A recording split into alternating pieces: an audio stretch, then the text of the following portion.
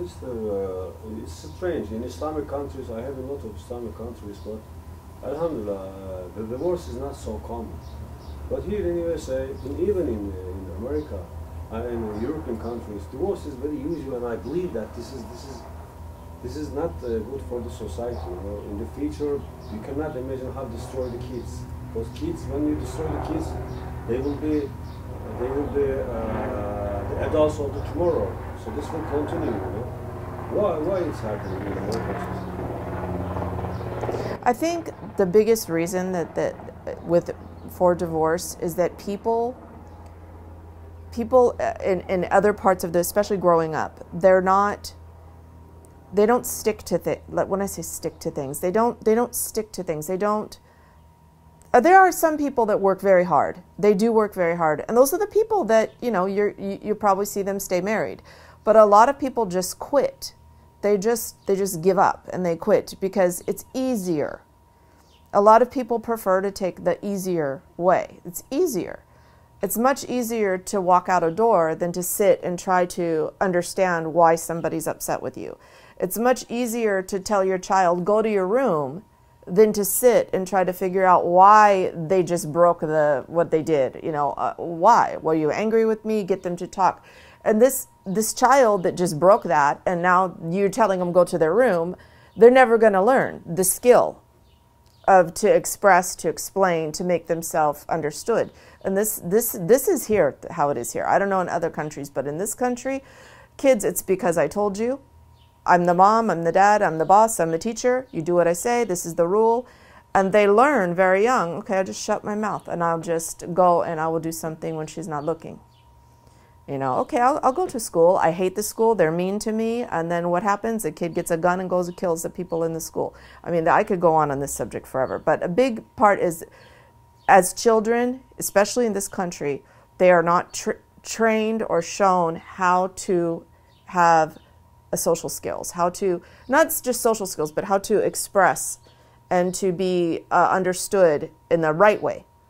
So this is why you see gangs and you see girls that are half naked and you see boys that you know have spikes through their face and all all this stuff going on because they're trying to express what they were never able to to learn as children. And then they grow up and they have to be married to somebody.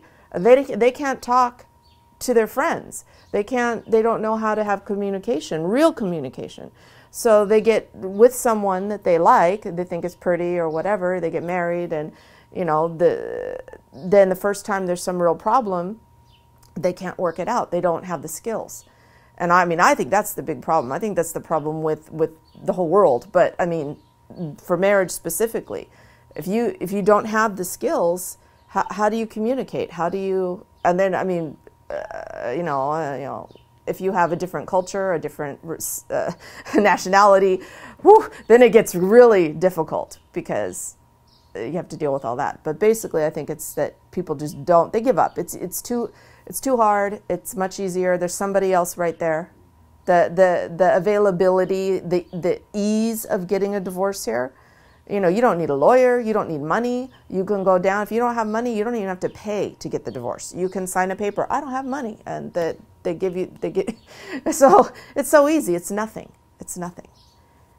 You know, what I think also this is this is the relation between the religion. You know, you know, according to me, if the people are spiritually, I mean, uh, religious people. Oh, that's. I, I, think they can stand something. You know, sometimes the religion makes you power. If, if the people are religious, it means he's ready to deliver something for, for, for his God.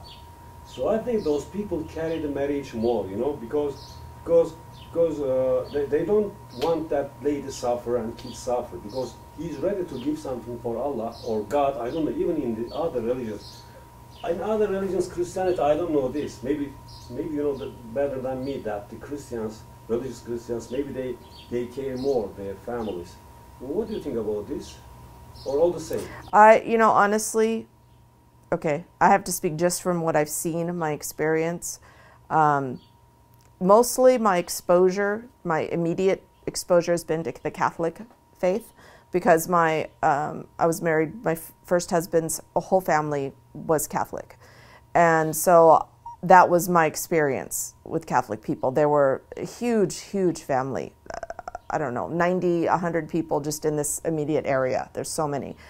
And what I saw though was that it didn't it didn't really seem to matter. And there were a few of them that would attend church and that seemed to try to follow some kind of lifestyle but in general no. In general I didn't find and actually I haven't found this is the this is the reason that that I um, came to Islam because uh, through all the other faiths that I that I looked at and I, I studied a lot of them I just couldn't find any where people actually lived they would preach it and they memorize it and you could talk with them and they could talk for hours about their beliefs but you never really saw it implemented in the life. And back and back to what you said about marriage i mean i didn't even go into that subject because i would talk for seven days just on the subject of, of having faith in a marriage because in, in the usa a huge portion of people don't really have I mean, they say, oh, I'm Catholic or I'm Christian or I'm Jewish or I'm this, I'm that. They say it like you would say, I am Swedish or I am Dutch. They don't, doesn't mean this is their, their religion. They believe this like a, a, a spiritual way of life. It's just, well, my family, I mean, I, I guess if I was going to do that, I would say that I was a Baptist because grandma was a Baptist. But they, they do that. Even Muslims. I, I, I, this is a big subject for me too. I, I know so many, but but back to the the marriage thing. The there's no there's a huge void where people just don't they don't have the faith and the and the belief and you know if they had that then uh, we wouldn't have divorce. I mean, really, because they wouldn't get married in the first place. They would be serious when uh, they wouldn't just go get married they would be thinking of it from a whole different point of view, not just looking at it like, oh, she's cute, let's get married, which is, I, I can't tell you how many people have told me, well, why did you get married?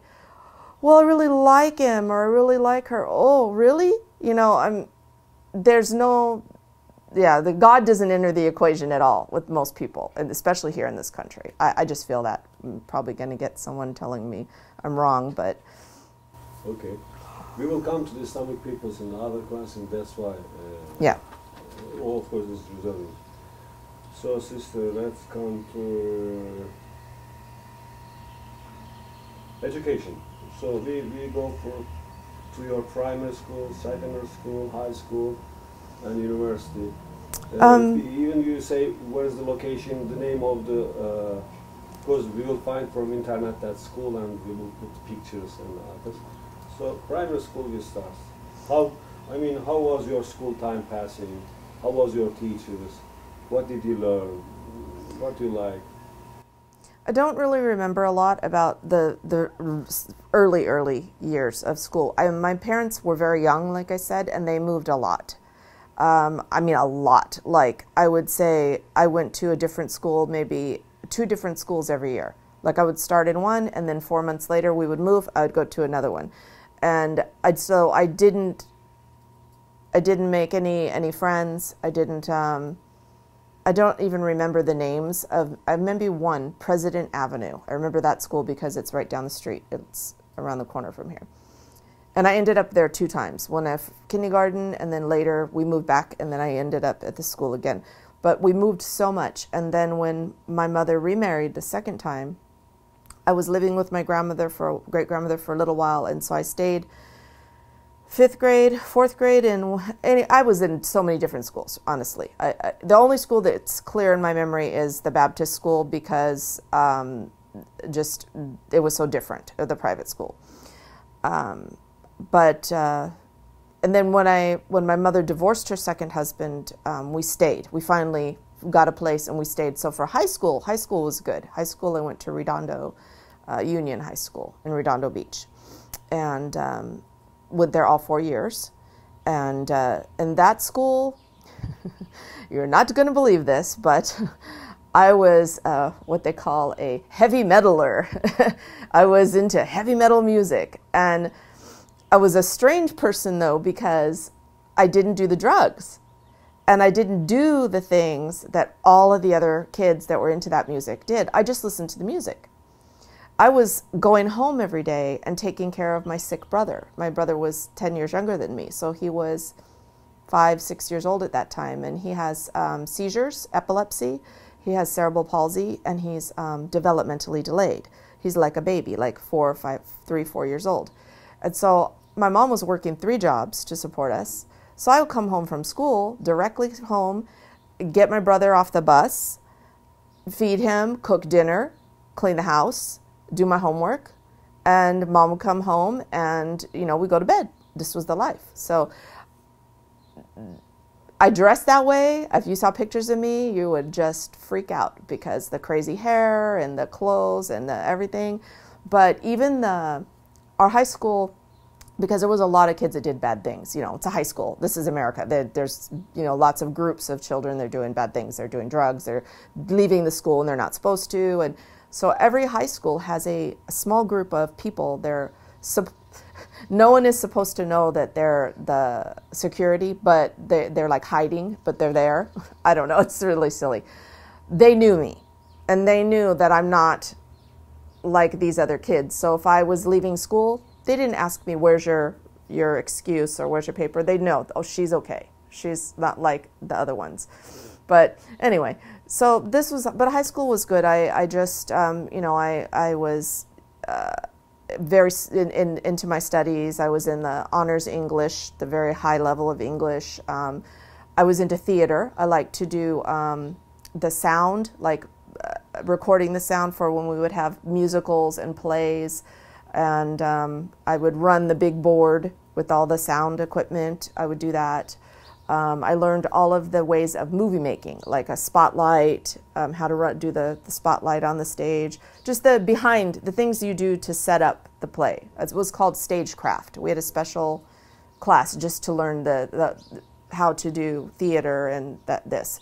I didn't like to be in front of the camera. I like to be the one behind doing the thing. So I did this for four years and uh, I was sure that was going to be my profession. That I was going to to go to Long Beach, um, Cal State Long Beach, and go into the the sound. I wanted to do sound technology, and maybe work for I don't know uh, either a theater or move go into movie production to sound. I was very into the sound, but um, anyway, so that was high school, nothing uh, extremely remarkable, just normal.